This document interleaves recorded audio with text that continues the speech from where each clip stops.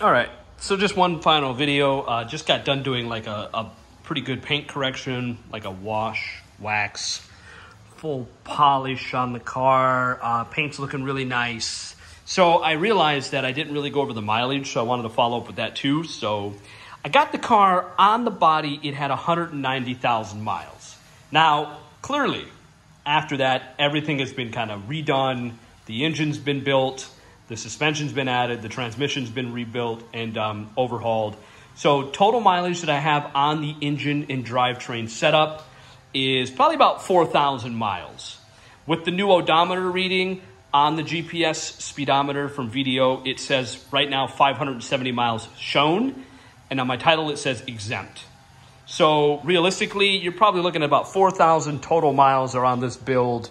Uh, that's where the little bit of the rock chips come from, a little bit of the the road um, debris has hit the car. Not a lot, but like down here, like I said, you can see some chips here, a couple chips in the grill, um, and you can see like a little a little rock chip right here um, if I can zoom in but otherwise the body's in really good condition actually got a couple of these light scratches out on the sunroof before so now you just have like these two pretty heavy ones that I talked about in the earlier video but yeah otherwise uh, cars washed waxed polished, cleaned, and back in the garage. It's stored uh, safe away where it's going to hang out um, until someone picks it up. So thanks again.